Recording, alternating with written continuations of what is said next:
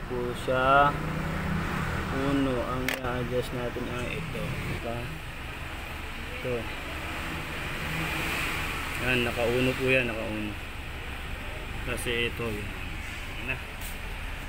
Yan po ang timing niya na sa pulley, ayun. Yung tuldok na yun, ayun, ayun, ayun, ayun. Yan. May timing din po sa cover. May timing din po sa cover. Ayun po yung timing sa cover. Yung parang buhit. Ayun po yung timing sa pulley. Tapos dito sa taas. Ayun dito sa taas. Yan. Kailangan magtapat po ito. Yan. Yan. Tapos yan. Yan po ang timing niya. Yan. Saka ito. CRB po ito.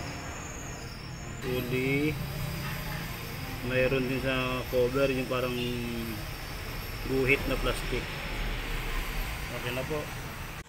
Ito po yung sa X house ayan. Ito yung sa intake yan po yung up ayan up yan. Yung up yan tatapat doon. Yan yung up tapos yung timing dito ito ito. Itong guhit na ito yan.